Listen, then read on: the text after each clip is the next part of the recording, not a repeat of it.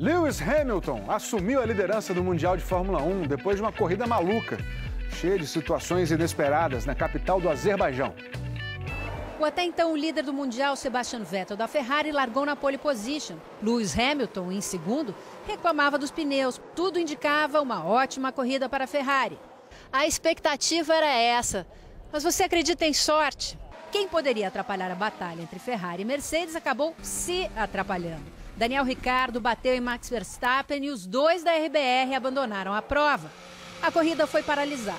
Na volta dos boxes para a pista, o finlandês Valtteri Bottas, da Mercedes, tomou a ponta de Vettel. Vettel foi para cima de Bottas para recuperar a primeira posição e foi com tanta sede ao pote que errou na freada ao tentar ultrapassar e caiu para quarto lugar.